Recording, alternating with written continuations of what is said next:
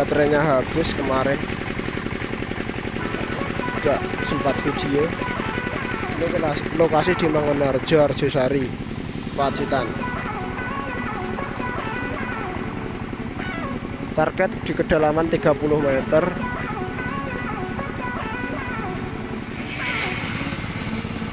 Untuk formasi lapisan tanah masih lempung hitam